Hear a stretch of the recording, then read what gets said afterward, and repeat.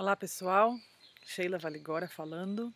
Para quem não me ouviu no primeiro vídeo, eu sou veterinária, formada na USP em São Paulo, e eu estou falando aqui diretamente da minha casa, no campo, na área rural de Botucatu, para gravar esse segundo vídeo sobre alergias em cães e como tratar de uma maneira holística e principalmente preventiva.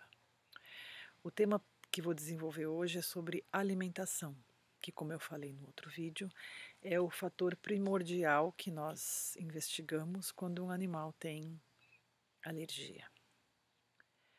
O tema da alimentação ele é muito amplo, poderia falar muito tempo sobre ele aqui.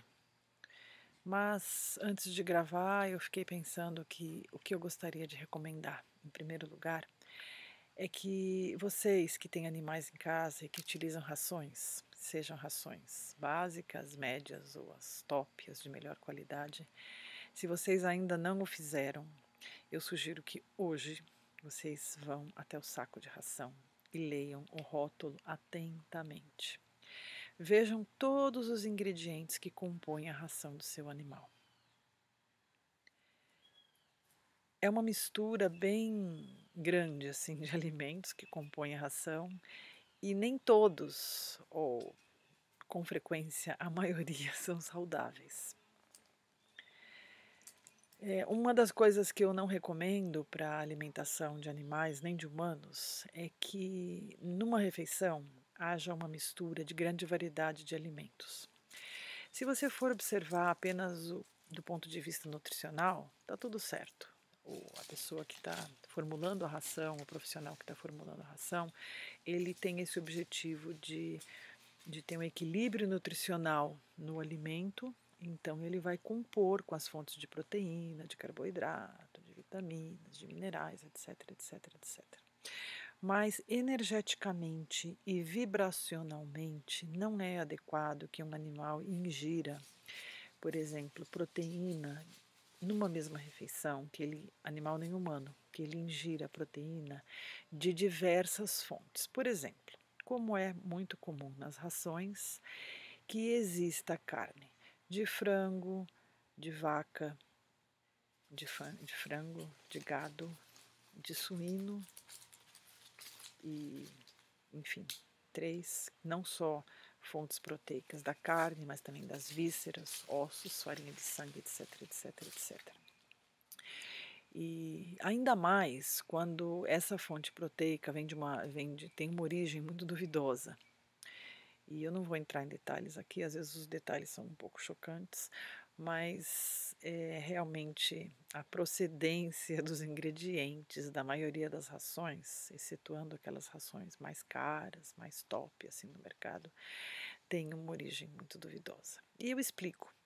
É, o que você coloca na alimentação animal é tudo aquilo que não tem um ótimo valor de mercado para ser comercializado para humanos. Então, assim, a melhor carne não vai para a ração animal, ela vai para ser comercializada para os humanos. E o que vai para a ração animal são as aparas, são, digamos, os restos, aquilo que não tem valor comercial para humanos.